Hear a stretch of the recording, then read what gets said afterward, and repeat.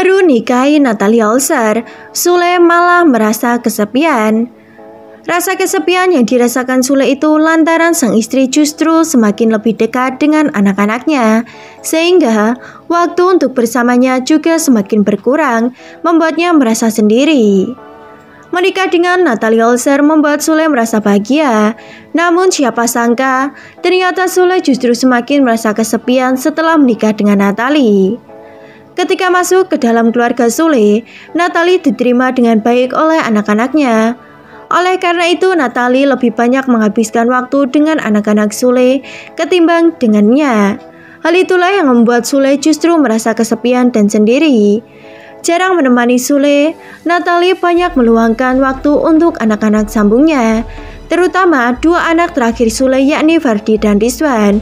Rasa sepi itu diungkapkan Sule kepada teman baiknya Andre Taulani.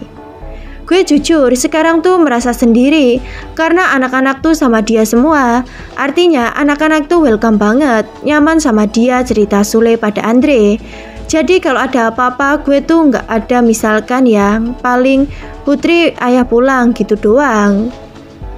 Tapi kalau ada apa-apa kayak si Rizwan, Ferdi sama Natali semua kecuali Iki Putri ya Kata Sule Di sisi lain gue seneng banget bahagia dia bisa klop sama anak-anak tapi di sisi lain gue juga sedih karena dia selalu sama anak-anak gue kerja doang gitu curhat Sule.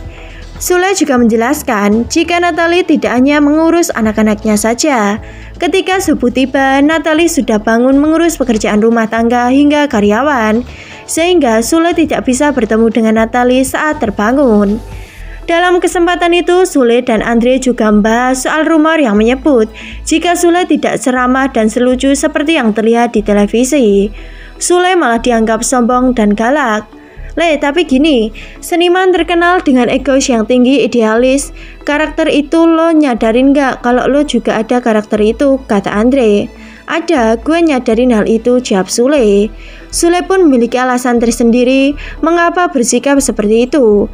Mungkin gue terlalu cinta sama komedi kali ya, kata Sule. Sekian berita yang dapat kami sampaikan. Berita ini dikutip dari kanal 247.com. Jangan lupa klik like, subscribe, komen, dan share.